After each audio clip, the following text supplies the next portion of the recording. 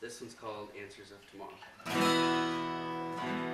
Well, I walked into the wind with my hands behind my back, trying to fight the notion that I should be cut some slack. And like the next man, I was just trying to live life within the black, and the wind wasn't helping matters much.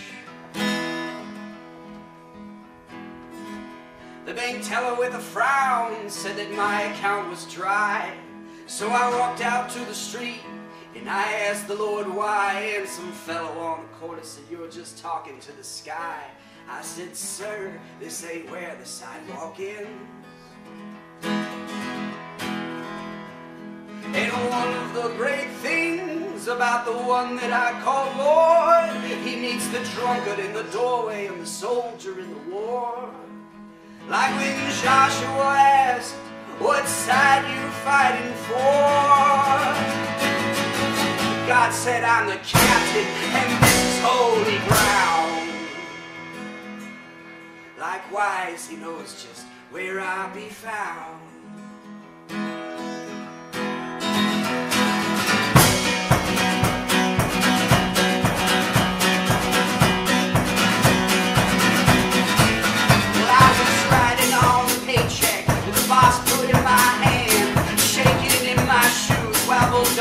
But I realized I'd become the man this house upon the sand, and it was time I broke out of that cocoon.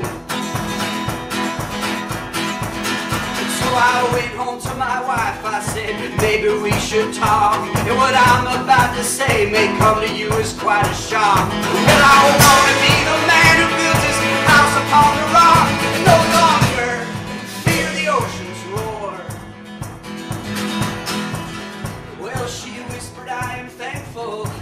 up and then sat down and said, Years ago in my prayers, I left the note that you just found, and our dreams can't rise together until we sleep on common ground. Now, would you like to go for an evening stroll? I said, let's go.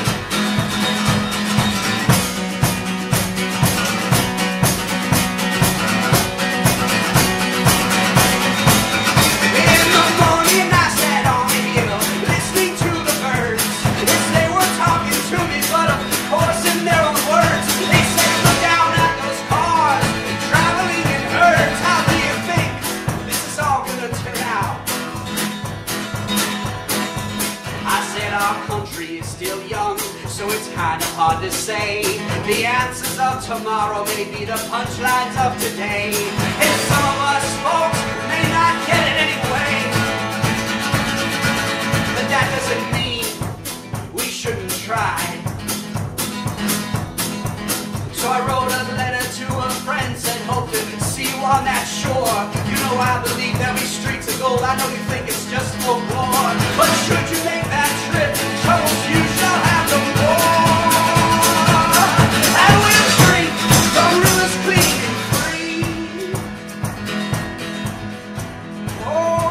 inside